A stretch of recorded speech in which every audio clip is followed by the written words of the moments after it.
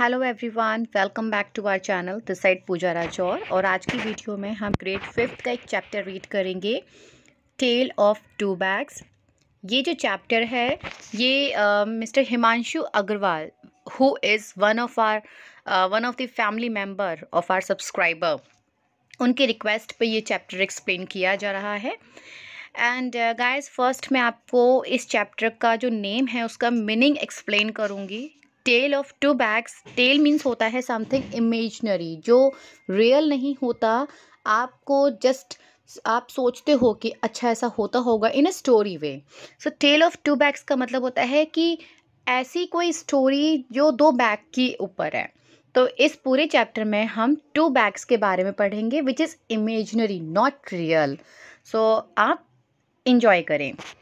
Late start before uh, explanation मैं आपको एक मैसेज देना चाहती हूँ जो मेरी मैक्सिमम वीडियोस में होता है कि अगर आपको और वीडियोस चाहिए फ़र्स्ट टू एट ग्रेड तक किसी भी चैप्टर की किसी भी टॉपिक की एक सिंगल टॉपिक में भी अगर आपको प्रॉब्लम है सो आप मुझे उसकी पीडीएफ या इमेजेस चैप्टर की सेंड कर सकते हैं इस ईमेल आईडी पे जो आपको ये दी गई है which is study to learn fifteen at the rate G mail dot com I will definitely provide you the video थोड़ा लेट हो सकता है बट ऐसा नहीं होगा कि आपको वीडियो ना मिले। Let start to read the story crank crank crank one after another the joint machinery was producing readymade plastic bags no tailoring no cutting no stitching was required the bags were produced at one go and at a terrific speed crank crank crank it's a sound of machine one after another एक के बाद एक जो giant machine थी giant means होता है which is large in size जो size में बड़ा हो मशीन थी, वो रेडीमेड प्लास्टिक बैग्स प्रोड्यूस कर रही थी, जिसमें टेलरिंग की कटिंग की और स्टिचिंग की कोई रिक्वायरमेंट ही नहीं थी। And the bags were produced at one को एक ही बार में बैग प्रोड्यूस हो रहे थे, बहुत speedily of course the bags could be burned but not destroyed nor could they eaten because they were plastic bags. One fine morning, the giant machine produced two bags, Rim and Zim, who became friends immediately. Of course था क्या कि जो bags हैं उनको burn नहीं कर सकते sorry उनको बर्न कर सकते हैं बट डिस्ट्रॉय नहीं कर सकते ना ही उन बैग्स को खाया जा सकता है वाई बिकॉज़ वो प्लास्टिक बैग्स होते थे वन फाइन मॉर्निंग एक दिन मॉर्निंग में क्या हुआ जो जॉइंट मशीन थी उसने दो बैग प्रोड्यूस किए, जिसका नाम था रिम एंड जिम वो जैसे ही प्रोड्यूस हुए, एक दूसरे के साथ वो फ्रेंड्स बन गए, इमीडिएटली वो फ्रेंड्स बन गए ओ Rim exclaimed Jim, as she rolled out of the machinery on a conveyor belt it's so nice to be born We must enjoy life fully. I am really excited to see this world. Jim ने exclaim करते हुए बोला अपनी feeling share करते हुए बोला, और Rem when she rolled out of the machinery on a conveyor belt जब वो कन्वेयर बेल्ट से बेल्ट मतलब मशीन की जो कन्वेयर बेल्ट थी, जब उससे वो रोल होके बाहर आ रही आ रही थी so it's so nice to be born वो रिम को बोलते हुए आ रही थी कि बहुत अच्छा लग रहा है बोन होते हुए, बहुत अच्छी फीलिंग है। And we must enjoy life fully हमें ये, जो लाइफ है, ये अच्छे से इंजॉय करनी चाहिए। I am really excited to see this world मैं तो बहुत एक्साइट हूँ एक्साइटेड हूँ इस वर्ल्ड को देखने के लिए। It's nice to hear it said Rem smiling so I am looking for adventurers and you ये तो सुनकर बहुत अच्छा लगा। रिम ने कहा और स्माइल किया। सो so, मैं तो एडवेंचर्स देख रही हूँ तुम? Oh yes I am rim अब जिम बोलती है कि आई एम मैं तो देख रही हूँ। Don't think life is an adventure Jim Rim को बोलती है क्या तुम्हें नहीं लगता कि लाइफ एक एडवेंचरस है? अब रिम बोलता है yes it is but I choose a quiet content peaceful life said Rim Rim ने क्या बोला कि हाँ लाइफ एक एडवेंचरस तो है बट मैंने अपनी लाइफ कैसी चूज़ की है? Which is a very quiet and peaceful life जो शांत और पीसफुल रहे। इस कॉन्वर्जेशन के बाद both were packed and send to the market दोनों बैग को पैक किया और उनको मार्केट भेज दिया गया। They reached the hand cart fruit seller और ये कहाँ पहुँच गए इनको? ये कहाँ पहुँच गए? हैंड कार्ड फ्रूट सेलर के पास, जो हॉकर जिसे हम बोलते हैं, जो फू जो फ्रूट्स या वेजिटेबल सेल करते हैं street to street. Here's a person who loves adventurous thought Jim when she heard the फट फट sound of a motorcycle Jim ने ये सोचा, जब उसने ये मोटरसाइकिल की आवाज़ सुनी फट फट कि ये एक पर्सन है जो एडवेंचरस पसंद करता है। The next movement, moment, Zim jumped into the fruit seller's hand, and before Rim could utter anything, Zim was off the fruit seller's hand cart and was flying on the handle of the motorcycle, carrying fruits. Next moment क्या हुआ Jim jump करके fruit seller के hand में चली गई and before Rim could utter anything Rim कुछ उससे बोलती उससे पहले Zim was off the fruit seller's handcart and was flying on the handle of the motorcycle, carrying fruits. के जिम जिम रिम जो उसे कुछ बोलती इससे पहले जिम फ्रूट सेलर के हैंड से कहाँ फ्लाई कर गई जो मोटरसाइकिल पे था जो उसके हैंडल पर फ्लाई ऑन कर गई उसके हैंडल पर जाके फ्लाई कर गई जो कि फ्रूट को कैरी करके लेके जा रहा था while Rim waited quietly in the queue to be picked up अब जो रिम थी, वो तो अपनी लाइफ को बहुत ही क्वाइट और पीसफुल रखती थी। इसलिए वो वेट कर रही थी कि कब उसकी टर्न आएगी पिक होने की उस क्यू में। When her turn came she was handed over to Meera a conservation conscious girl जब उसकी टर्न आई तो उसको हैंडेड कर दिया गया। टू मीरा मीरा को हैंडेड कर दिया गया। मीरा कौन थी? She was a conservation conscious girl उसको पसंद था कि किसी भी चीज़ को कैसे कंजर्व करना चाहिए। उसके हाथों में चली गई। Fine Meera carried her fruits home in Rim when she reached home she removed the fruits took Rim and threw her into a basket where several bags of her kind were already present जब Meera rim में fruit को लेकर घर पहुँची। Rim was a bag right Jim and Rim दो bag थे। जब वो रिम में फ्रूट को लेके घर पहुँची तो उसने क्या किया? घर पहुंचकर फ्रूट्स को बाहर निकाल लिया और रिम को कहाँ कर दिया? जो बास्केट थी, जिसमें ऑलरेडी उसकी तरह बैग्स प्रेजेंट थे, उसमें उसको थ्रू कर दिया। अब हुआ क्या? उसको एक फैमिली मिल गई रिम को राइट उसे अलग नहीं लगा। उसे अपनी लाइफ अच्छे से लगी उस बकेट के अंदर बास्केट के अंदर बिकॉज़ उसके साथ जो बैग्स थे, वो भी उसी की तरह थे। Here Rim began to live a peaceful life among her brothers and sisters all awaiting disposal अब वहाँ रिम जो है, वो अपनी लाइफ पीसफुली वहाँ बिताने लगी, रहने लगी, क्योंकि उसके जैसे बाकी बैग्स थे, जो उसके ब्रदर्स या सिस्टर्स थे वेट कर रहे थे सारे डिस्पोजेबल होने के लिए डिस्पोजल होने के लिए। अब यहाँ पे दोनों ने अपनी अपनी लाइफ अलग चूज़ की थी।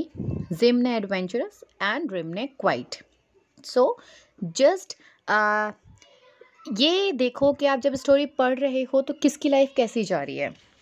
Right here are your fruits mama shouted Tony as she threw the fruits on the dining table when he reached home Tony जो मीरा थी, उसका बेटा था, जैसे वो घर पहुँचा, उसने शाउट करके बोला कि ये आपके फ्रूट रखे और डाइनिंग टेबल पे उसको फेंक दिया। Okay keep them in the fridge Tony shouted his mother from the kitchen don't you see I am busy फिर टोनी की मदर ने किचन से ही उसको शाउट किया कि उनको जल्दी से फ्रिज में रखो, तुम्हें नहीं दिखता कि मैं बिज़ी हूँ? ओह I have to do this too shouted Tony. Remove the fruits from Zim, and threw her down the table. उसने फिर शाउट करके बोला टोनी ने कि ये भी काम अब मुझे करना पड़ेगा। उसने फ्रूट्स रिमूव किए जिन से और उसको कहाँ फेंक दिया? फ्लोर पर। सॉरी टेबल के नीचे फेंक दिया। ये जिम की लाइफ थी राइट रिम अपना शांति से वेस्ट बकेट में अपने ब्रदर सिस्टर के साथ रह रही थी but what about Jim Jim की लाइफ अब कैसे चल रही है? Let's see Disheartened at such a short adventure, Zim lay on the floor, needing to leave the house and run into street. Disheartened का मतलब होता है डिसअपॉइंट कि ये छोटा सा एडवेंचर था जिम इससे बहुत डिसअपॉइंट हुई और वाई बिकॉज़ उसको फर्श पे ऐसी गिरा के टोनी जो है वो घर छोड़कर बाहर गली में चला गया। Suddenly she received a jerk suddenly क्या हुआ? मीरा को एक जर्क रिसीव हुआ। जर्क होता है झटका। Lo, it was Tony's mother whose toe had got entangled in the bag and she had fallen down. ये तो टोनी की मदर है जिनका टो क्या हो गया है? टो मीन्स पैरों का अंगूठा पैर का अंगूठा। इंटेंगल हो गया है जो कि फंस गया है बैग में। और वो नीचे गिर गई। When she recovered and saw Jim she screamed Tony couldn't you throw the bag into the waste bucket जब वो रिकवर हुई, उसने जब वो उठी वापस, उसने जिम को देखा और वो वापस टोनी पर चिल्लाई कि, तुम इस बैग को वेस्ट बकेट में नहीं फेंक सकते थे. She got up rubbing her back and went back into the kitchen but she herself didn't didn't bother to throw the bag into the waste bucket वो, उसने अपनी बैग रब की और वापस किचन में गई बट उसने खुद वो बैग उठा के वेस्ट बकेट में नहीं डाला। Later Tony's one year old sister Simi came crawling towards him. The pink color of the bag had attracted her and she wanted to taste her. बाद में क्या हुआ टोनी की जो एक साल की छोटी सिस्टर थी सीमी वो क्रॉल करती हुई जिम के पास आई वाई बिकॉज़ जो जिम का कलर था ना pink colour this is Jim तो पिंक कलर ने उसको बड़ा अट्रैक्ट किया और वो Seemi this girl is Seemi और वह सीमी उसको टेस्ट करना चाहती थी। Seemi put Jim into her mouth and began to chew her. Seemi ने उसको माउथ में रखा और उसको च्यू करने लगी, चबाने लगी। Then she began to gulp her down like milk और उसको ऐसे करने लगी जैसे बच्चे मिल्क को करते हैं निगलना जैसे हम कहते हैं। Jim got stuck in her throat she began to cry and howl Jim क्या हो गया? जिम उसके गले में अटक गई। और बच्ची ने रोना स्टार्ट कर दिया। Tony's mother rushed in. Tony की मदर जल्दी से भाग के अंदर आई। When she saw Jim stuck in Seemi's throat she screamed जैसे उसने देखा कि जो जिम है, वो सिमी सीमीज के थ्रॉट में फंस गया है।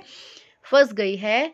शी स्क्रीन वो फिर से चिल्लाई Tony I had told you to throw the bag away look what has happened will you do that now right away फिर से वो टोनी पे चिल्लाई कि मैंने तुम्हें बोला था कि इस बैग को दूर रखना। देखो क्या हो गया है। क्या तुम ये काम अभी करोगे? She pulled Jim out of Seemi's mouth threw her on the floor and picked up Seemi to console her अब मीरा ने क्या किया?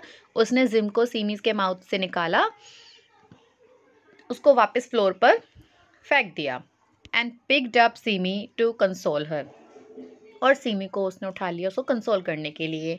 जैसे बच्चों को कुछ हो जाता है तो उनकी मदर्स उनको कंसोल करती हैं, वैसे ही मीरा ने किया।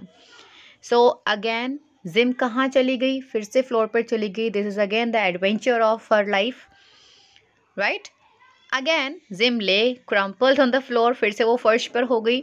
Horrified at what she had gone through and seen she easily have suffocated Seemi and that was very horrified बहुत डरावना था जिम के लिए भी, क्योंकि जो उसने देखा, जिस, जो उसके साथ हुआ बिकॉज़ वो ईज़िली सीमी को सफोकेट कर सकती थी। जैसे सफोकेट का मतलब होता है घुटन घुटन भरा। तो अगर वो सीमी के थ्रोट में, गले में अटक जाती तो उसको सफोकेशन हो जाती, वो सांस नहीं ले पाती राइट तो ये भी इजीली हो सकता था।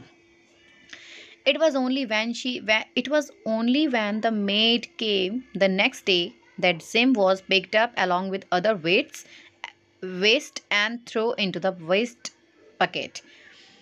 अब जिम को कब उठाया गया जब नेक्स्ट डे मेड आई मेड ने क्या किया जिम को जो बाकी घर में वेस्ट पड़ा रहता है उनके साथ उसको उठाया अब जब उनके साथ उसको उठाया है तो उसको बहुत स्मेल आने लगी रिम कहाँ थी रिम उस बकेट में थी जहाँ पे सिर्फ़ बैग्स थे। तो वो उसको बहुत अच्छा फील हो रहा था वहाँ पर। बट जिम के साथ क्या हुआ? वो फर्श पर रही। जब मेड आई डस्टिंग की तो उसने सारे वेस्ट के साथ उसे उठा लिया। अब उसे बहुत स्मेल आने लगी।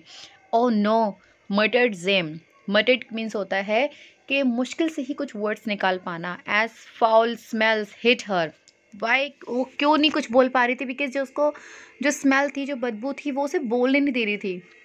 But it was not long before a sweeper collected her along with other waste and brought her into a and it was not long before a sweeper collected but ये ज़्यादा लंबा नहीं था बिकॉज़ जो sweeper था उसने आ, उसको बाकी वेस्ट थे उसके साथ फिर वो गली में उसको ले गया।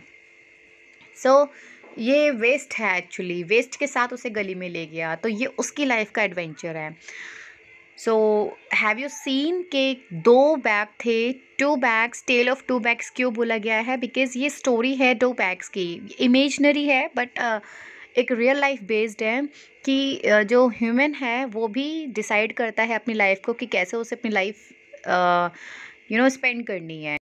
एक्चुअली इस स्टोरी को रीड करके वी लर्न कि कि हम अपनी लाइफ को जिस तरीके से चूज़ करते हैं इधर पीसफुल और एडवेंचरस तो हमें वही चीज़ें फेस करने को मिलती हैं बिकॉज़ हम उसी डायरेक्शन में जाते हैं right so choose your life with careful with carefully कि आपको कैसी लाइफ जीनी है अपनी? सो आई होप आप सभी ने ये स्टोरी इन्जॉय की होगी। जो भी आपको डिफ़िकल्टीज़ आ रही होंगी कुछ वर्ड्स को समझने के लिए, वो इट जस्ट बिकॉज़ कि जैसी इमेजेस मुझे मिली थी I use that only so अगर किसी को इमेजेस सेंड करनी है सो प्लीज़ ऐसे कीजिए कि कोई वर्ड्स कट ना हो और वो ईज़िली आपको विजिबल हो. So I have mention my email I D once again जो अगर आपको कुछ भेजना है, कुछ चाहिए वीडियो तो आप इस ईमेल आईडी पे सेंड कर सकते हैं. Thank you so much